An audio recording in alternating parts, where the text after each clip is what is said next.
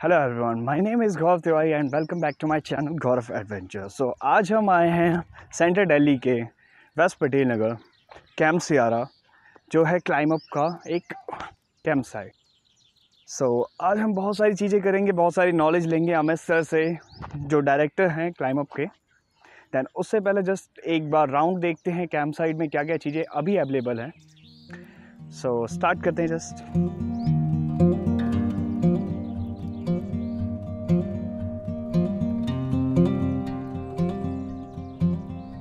Música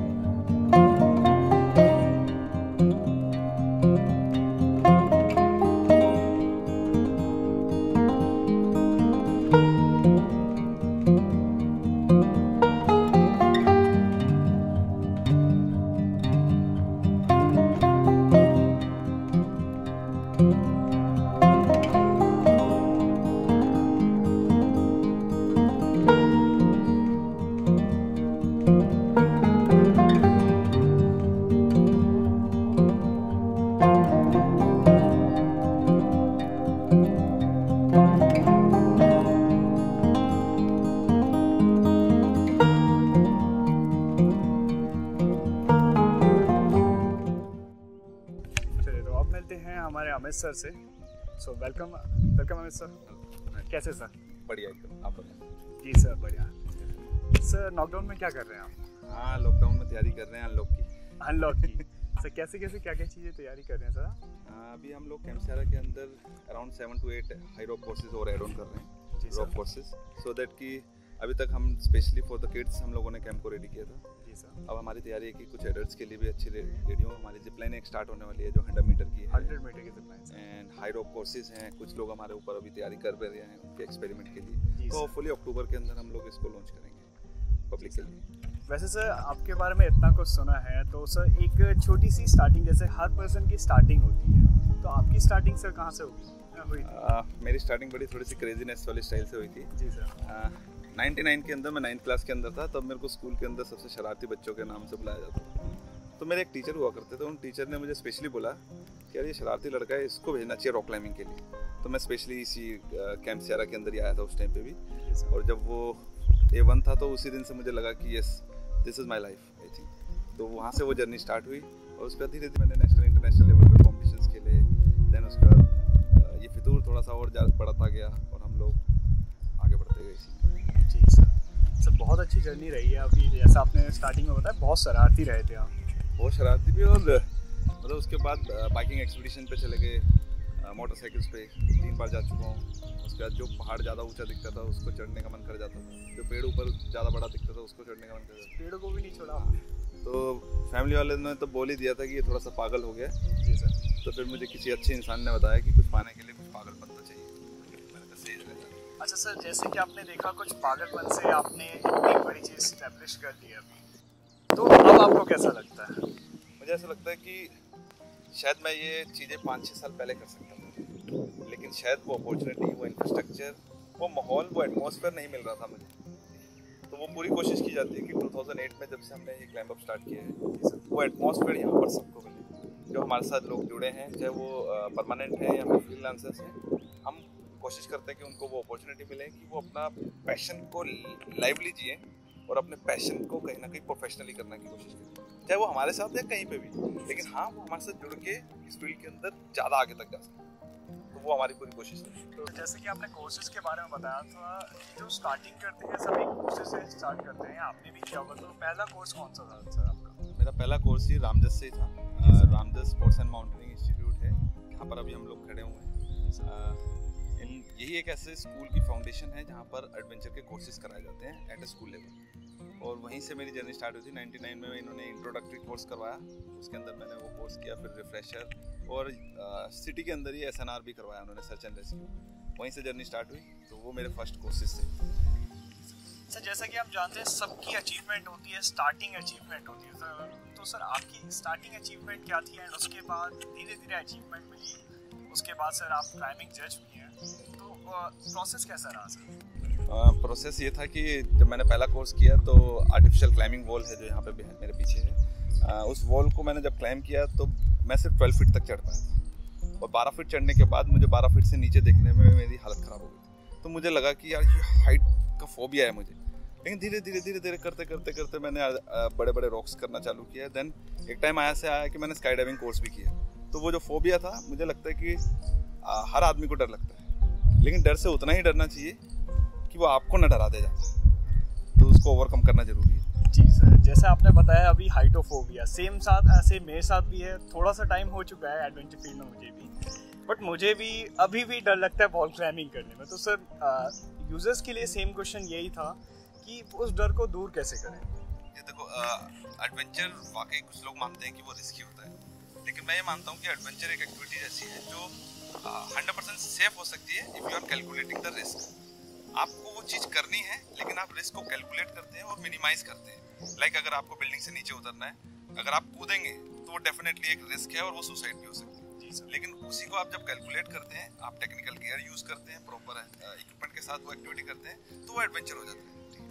तो मुझे लगता है कि इस तरीके की एक्टिविटीज़ को हर बच्चे के अंदर हर एडल्ट के अंदर इन्वॉल्व होना चाहिए। करनी चाहिए एक्टिविटीज़ कहीं ना कहीं आपका कॉन्फिडेंस बिल्डअप करती है। ठीक वन आज के टाइम पे, जिस टाइम का अभी ये जो सिनेरियो चल रहा है we everybody we are lacking of the confidence जो माहौल चल रहा है, कहीं ना कहीं हर चीज़ नेगेटिविटी में चल रही है। तो ये टाइम है, जब हम कुछ ना कुछ एडवेंचर या कुछ ना कुछ स्पोर्ट्स के अंदर रहें सो दैट कि वो जो कॉन्फिडेंस है बिल्डअप रहे हमारे। तो इसलिए मेरे को लगता है कि ये चीज़ें करनी ज़्यादा ज़रूरी है। जी सर। सर बिगिनर्स के लिए आप क्या सजेशन देंगे कि बिगिनर्स कैसे स्टार्ट कर सकते हैं एडवेंचर फ़ील्ड को? जो अप्रॉक्स अभी ट्वेल्थ क्लास क्लियर किया है जिन्होंने, या जस्ट अभी करने वाले हैं इस तो एडवेंचर फ़ील्ड से अगर जुड़ना चाहते हैं तो कैसे जुड़ सकते हैं, सर? तो एडवेंचर फ़ील्ड से आपको जुड़ना है तो इंडियन माउंटेन फाउंडेशन है, वहाँ पर जाके वो क्लाइंबिंग क्लासेस ले सकते हैं, और कैंप सियारा है, यहाँ पर अभी हम रिसेंटली अभी नेक्स्ट दो से तीन महीने के अंदर हम लोग यहाँ पर कोर्सेज स्टार्ट करने वाले हैं, जो कि सर्टिफाइड कोर्सेज होंगे थ्री फोर डेज़ के।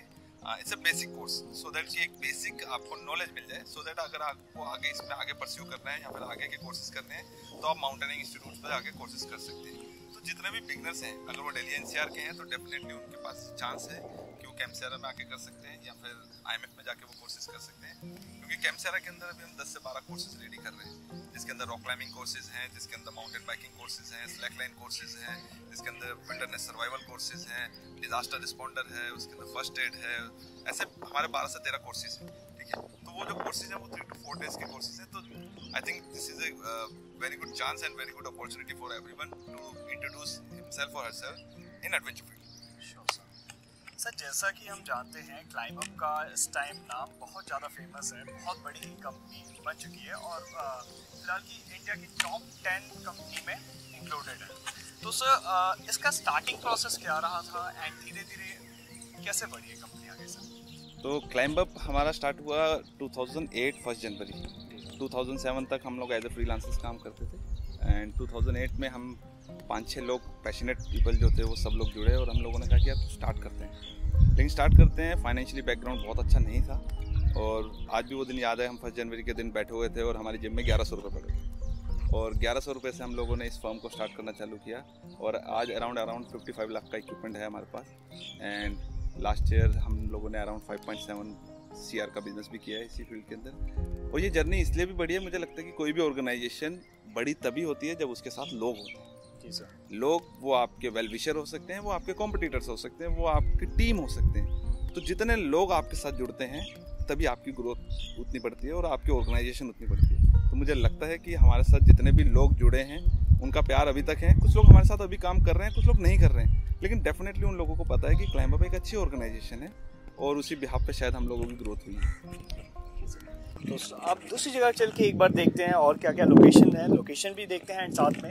अब इस तरह से हमारी बात कंटिन्यू रहेगी।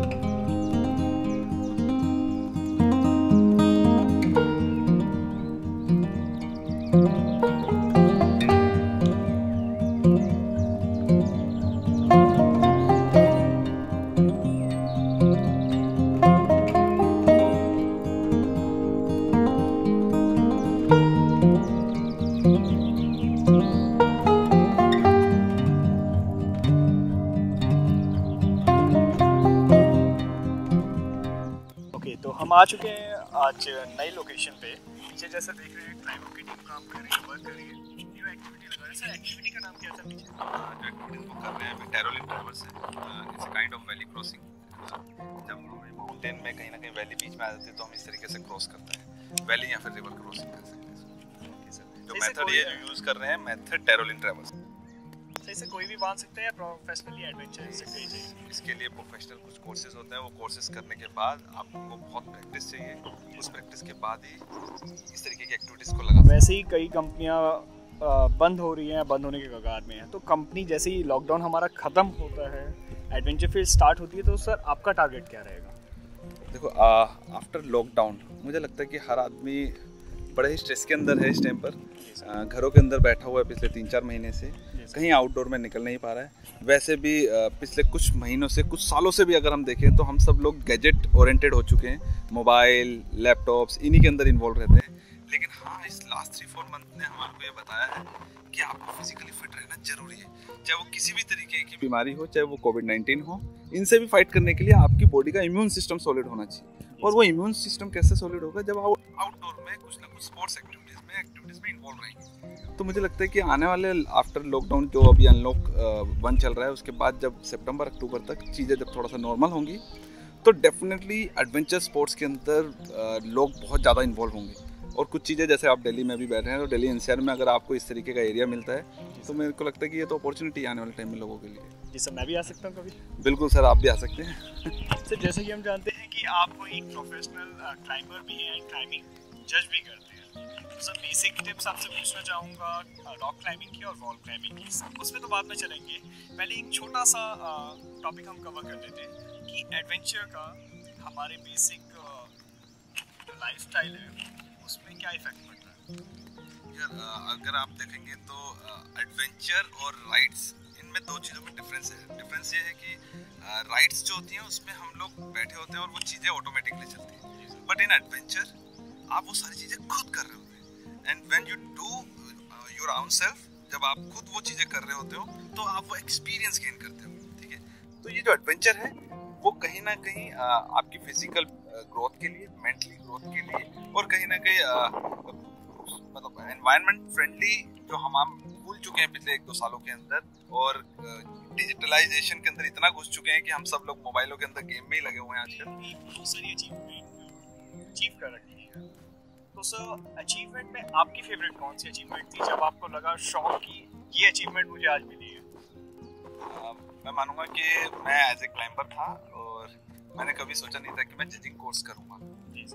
लेकिन एक इंसिडेंट मेरे साथ हुआ किसी एक कॉम्पिटिशन के अंदर मुझे एक जज ने स्पेशली मुझे एक सुनाया गया। उन्होंने बोला कि अ, मैंने जजिंग कोर्स किया हुआ है। तूने जजिंग कोर्स किया है?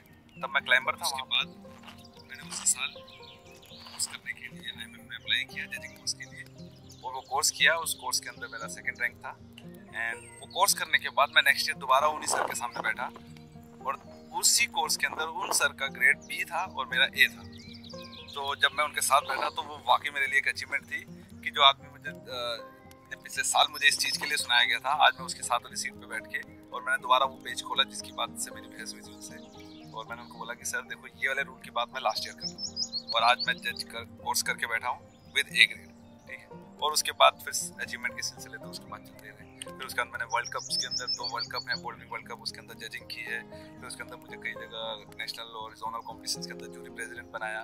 एंड 2018 के अंदर एशियन गेम्स के अंदर I am the first Indian coach जो वहाँ पर as an Indian team coach गया, ठीक है? क्योंकि फ़र्स्ट टाइम ये इंट्रोड्यूस हुई थी एशियन गेम्स के अंदर, वहाँ पर मुझे वो चांस मिला। Opportunity milli. I would like to thank to Indian mountaineering foundation बोलिए अभी आने वाले टाइम में ओलंपिक के अंदर भी हम कुछ ना कुछ अच्छा करने वाले हैं अपने जी सर जैसे कि आपने ओलंपिक की बात की रिसेंटली अभी ओलंपिक होने वाले थे जो पोस्टपोन हो गए मे बी आगे।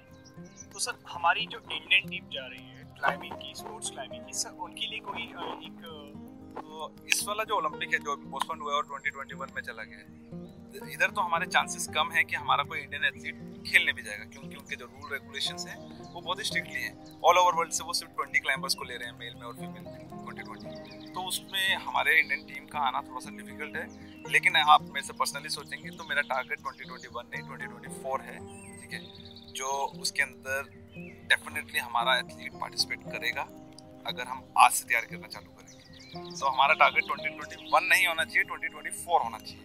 नेक्स्ट फाइव ईयर बाद। तो मुझे लगता है कि वो डेफिनेटली हम करेंगे सर एक क्वेश्चन पूछूँगा आपसे टॉपिक से थोड़ा हट के।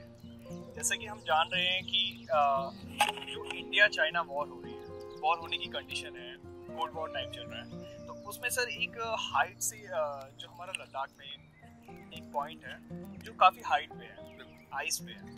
इवन से पेंगोंग लेक जो पेंगोंग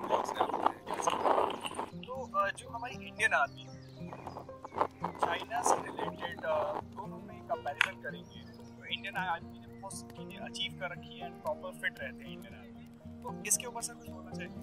हाँ मुझे लगता है कि टेक्नोलॉजी वाइज या आर्म फोर्सेस वाइज शायद चाइना हमसे थोड़ा सा आगे हो सकता है। सर स्ट्रेंथ बट बट लेकिन जब फाइट करनी होती है तो फाइट के लिए इमोशंस आपकी फाइट कराते हैं। आप यकीन माने कि अगर मुझे किसी को थप्पड़ मारना है तो शायद मैं उतना ज़ोर से नहीं मार सकता हूँ लेकिन अगर मेरे पीछे उसके पीछे गुस्सा होगा तो मैं गारंटी कि मैं उसको एक थप्पड़ में भी ज़्यादा मार सकता हूँ। तो हमारी इंडियन आर्मी जो है वो कहीं ना कहीं इमोशन से फाइट करती है और जब हम इमोशन से फाइट करते हैं तो हमारा एक आदमी पचास लोगों के ऊपर भारी पड़ता है जो हम लोगों ने अभी गलवान से के अंदर भी दिखाया है। ठीक है? तो हम इमोशनली हैं तो मुझे लगता है कि अगर फाइट वन टू वन वाली भी होती है तो डेफिनेटली इंडियन आर्मी इतना इमोशनली है कि वो दो दो तीन तीन चाइनीज़ को वैसे पकड़ के मार सकते हैं इसी के लिए कहीं ना कहीं हाई एल्टीट्यूड पे हमारी इंडियन आर्मी हमेशा फिट रहे। इसी तर, इसी तरीके के कोर्सेज और इसी तरीके की क्लाइंबिंग पोज आजकल हर आदमी यूनिट्स के अंदर बनने लग गई क्योंकि हर आदमी हाइट पे और एल्टीट्यूड पे जाकर क्लाइंबिंग नहीं कर सकते हमारी यूनिट्स शहरों के अंदर भी है लेकिन हाँ उनको क्लाइंबिंग की प्रैक्टिस होती है जब भी उनको कभी पहाड़ों पे या माउंटेन पे जाना हो तो उनको वहाँ जाके वो प्रैक्टिस ना करें कम से कम प्रैक्टिस यहाँ कर नेक्स्ट सेशन स्टार्ट करते हैं अब तो स्टार्ट करते हैं नेक्स्ट सेशन क्लाइंबिंग के ऊपर। आप प्रोफेशनल क्लाइंबर हैं तो आपसे कुछ टिप्स लेना चाहूँगा, जो हम अपने यूज़र्स को दिखा सकें। स्टार्ट करें।